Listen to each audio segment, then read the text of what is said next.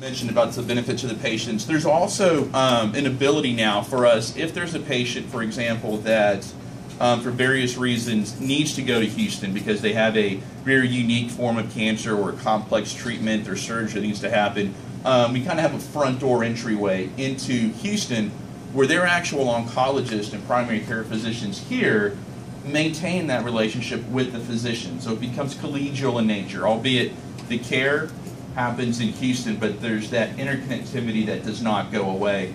At the same time, um, there's an ability to partner in that if it's a surgery, for example, the patient go to Houston, have surgery, and then have their follow-up care if they need chemotherapy or radiation therapy here um, close to home uh, um, in their community. So it's a great relationship. It's a great resource um, that we have for us. These are a couple of the programs that we're really focusing on right now um, lung, breast, and colorectal. At the end of the day, this is where there's a lot of need, there's a lot of volume in these three specific disease sites. We're starting programs in um, gyn skin uh, as well. But these are the ones where we have um, advanced the most. Right now, we've got a really interesting um, lung screen program. Now, you'll see a lot about lung screen out in the community. It's kind of a, a hot item now where people come in and get screened for um, lung cancer. We have some pretty um, um, restrictive guidelines around our lung screen program that were developed by um, our medical oncologists and our surgeons. And we look for um, patients that have a certain age range and a certain history of behaviors, smoking, etc. And if they qualify, they can come in and have a lung screen. And the intent of the lung screen is to really catch um, lung cancer in its early stages. So we've done 450 lung screens and we've had 11 findings. They may not sound like much, um, but these were stage ones that if they would not have come through this process, they probably wouldn't have had lung cancer until it progressed further down the road. So these are candidates that are open for surgery and have a much higher success rate than patients who may um, have not known and then waited and then had their um, cancer become more severe. So it's, it's very beneficial from that perspective. For our breast cancer program, we're working on a um, initiative to increase this. So right now we're averaging eight days um, to detection and pathology. So this is from your screening mammogram to a definitive um, cancer um, diagnosis. It's eight days. I don't think that's the right number. That's where we are now. Um, I want to see this drop closer to three days. Um, that's some of the work that we did in Phoenix and Houston. This is really about aligning our physicians, our radiologists, our pathologists all together. Um, and this is where we're investing a lot of time and energy, and I think we'll be able to make this happen because there's nothing worse than having to wait while you're in this kind of limbo phase if there is a potential finding. I mean, the stress that that causes is, is out of this world. So ideally, is something that we're really focusing on. And then colorectal. Um, we have um, um, experts in eight different subspecialty areas. And then we also have our um, cancer prevention program. We have a colorectal screening initiative led by uh, two physicians and a couple of administrators that are really just out there promoting the need for colorectal screenings and coming in. And again, similar to the lung cancer, if there is something, let's take care of it early, let's take care of it quick, and get some better outcomes from that perspective.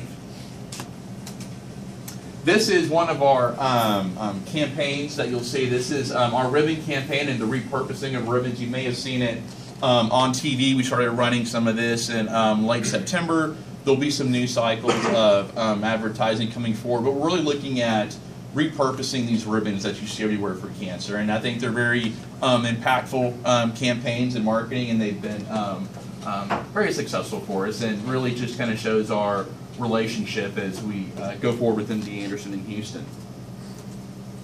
Um, these are a couple of uh, stories. Um, what I'll do is really just really speak to these. We had a patient um, come in uh, with the cancer diagnosis, and this is a little bit um, uh, uh, about her uh, right here.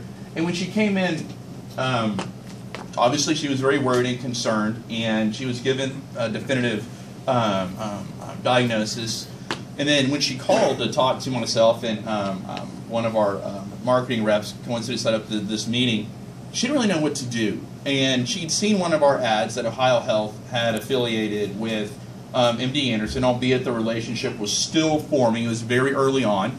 Um, she was still a little bit uncertain about what to do. So she decided um, she was going to get her treatment plan here in Ohio Health by her medical oncologist and surgery uh, surgical oncologist, and then head down to Houston for some validation on her own. She and her family were like, "We're going to make sure that this is the right plan for us." Um, so they did. They uh, went down to Houston, set up the appointments, and lo and behold, the treatment plan that was presented to her there was identical to the plan that was prescribed for her here at Ohio Health. So the validation was there. It was a great story.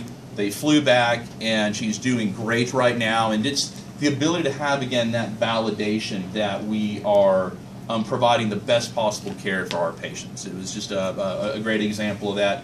Another one is the, the peer-to-peer consult that I mentioned. We've already had um, 22 um, patients consulted through MD Anderson in Houston. And these are just physicians. There's a mechanism we have in place where um, they send literally an email down to Houston. It gets distributed to the right physician in Houston in their right disease site. And then there's a reply, there's a quick meeting, a phone call, um, there's some sharing of uh, medical information if need be, and then there's a conversation. And then there, that's where that validation happens. And um, it's just a great extra resource for our patients to have with uh, that mechanism for our physicians to have a casual conversation and validate their treatment plans. Um, we're also doing, um, starting next month, our multidisciplinary um, planning conferences with Houston, which once a week on Tuesday mornings from 8 to 10, our physicians will present cases in a tumor board type fashion with Houston on the other end, um, video conferenced in. But it's not only Houston um, in our program here, it's all certified hospitals through MD Anderson across the United States. So there's only a limited amount of cases that can be presented. Everyone is sharing time on this tumor board, but it's a great way to get not only MD Anderson Houston expertise to the table, but expertise from oncologists across the um, U.S. And it's actually, we haven't done it yet. Like I said, it starts next month for us. We're working through some of our technical connectivity pieces.